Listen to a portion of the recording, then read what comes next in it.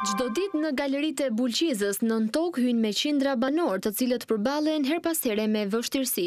Minatorët janë ngritur në protesta vetëm duke kërkuar drejtësi dhe kushte dinjitoze në ambientet e punës. Krahas kushteve jo të favorshme të punës, ata kanë protestuar edhe në datën një maj për të kërkuar të drejtat e tyre. Sindikata e minatorëve të Bulqizës ka paralajmëruar për shkallëzim të protestave dhe vijimin në grevë urie nëse kushtet e tyre nuk do të plotësohen. Plotësimi i kushteve dinjitoze të punës dhe të pagës mbetet një kërkesë themelore për rikthimin e tyre në nëntokën e galerive. Sindikatat duhet të ishin këtu duke protestuar për një majin jo duke festuar.